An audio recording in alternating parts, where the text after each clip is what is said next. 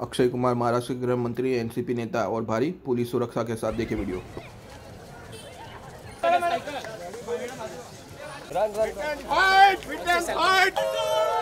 आज ये